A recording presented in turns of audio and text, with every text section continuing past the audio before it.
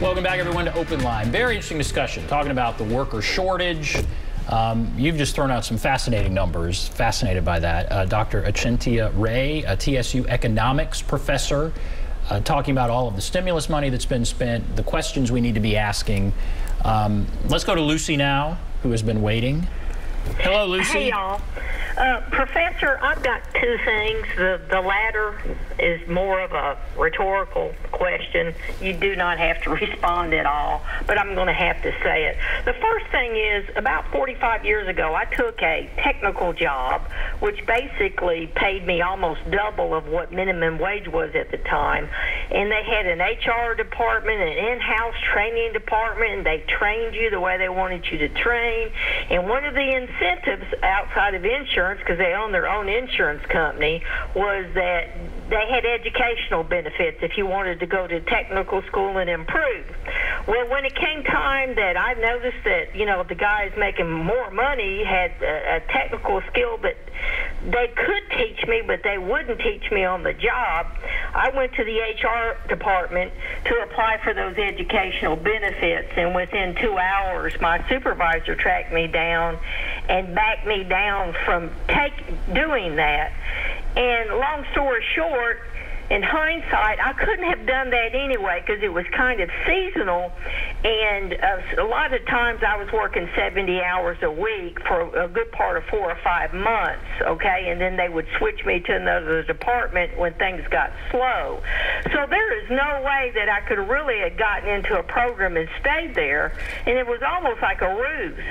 Well, back then, if you got educational benefits, they picked up the tab, and in the late 80s, I think it was was corporations quit picking up the tab and they put the tax burden on the employee that if you got educational incentives, they consider that like a wage and you had to pay that tax on that. Well, I heard Walmart this morning on the news has announced they're going to give college incentive programs, and I had to laugh because I'm like, I know so many people that work in those jobs that are on call all the time, and they can't really go to technical school. They'll have to take something online, or their school will be interrupted or whatnot. Right, right. And I'm thinking, you know, are they going to enroll in this stuff, pay pay taxes as in wages on it, and really never get to finish? It almost seems like a, uh, like an illusion. So uh, if you can comment about stuff like that. And the other thing is this: uh, back in the early '80s, we allowed offshore banking,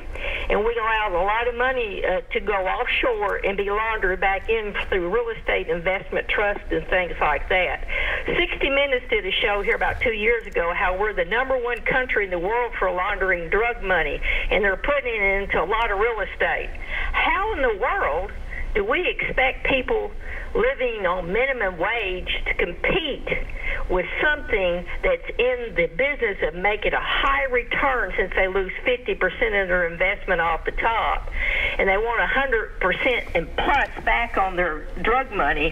How in the world could the guy at McDonald's compete with that money going into real estate okay. and buying all these things? All right let's let's talk about all that. Okay so she said the second one was more hypothetical. Um, a rhetorical question. Rhetorical. yeah, more yeah. rhetorical. Yeah. The illusion of benefits, that was her other thing. Yeah.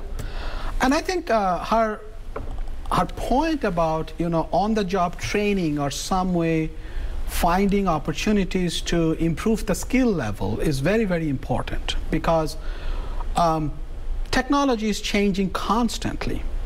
And we kind of talk about it in a very loose manner, but now we know that you know from everything from biotechnology to 3D printing to changing in how the manufacturing uh, industry work.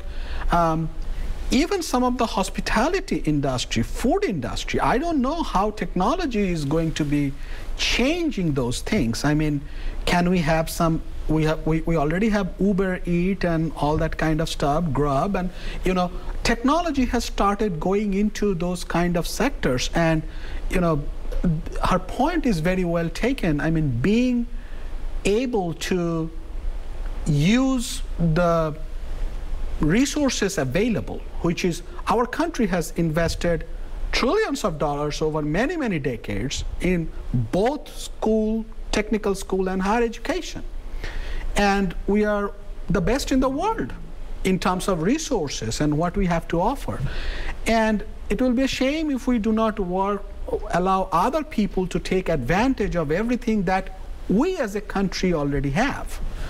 But you know, I will just go at, go a little bit tangential. I'm not an accountant. I'm not a CPA, so I do not really know the tax treatment of those kind of benefits. So I will. Um, I will uh, probably dodge that question because I'm not qualified to talk about that. But definitely, one other thing that we need to talk about is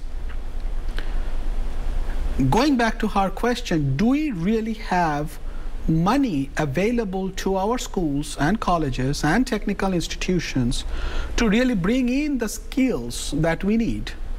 And whether the money that we are allocating to our education uh, uh, institutions is enough in Is some adequate. sense. All right, we, So- all right, we have to take a break. Uh, then we'll come back, continue the discussion. We will take a break, be back right after this.